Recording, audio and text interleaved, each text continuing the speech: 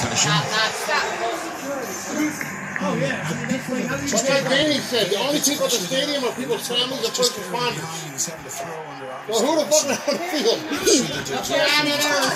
Patrick Mahomes' great grandfather. Let me get my cousin Pat. Watch us out.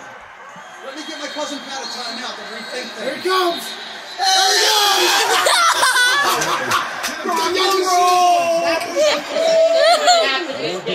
That's Patrick Mahomes' great great grandfather. Woo!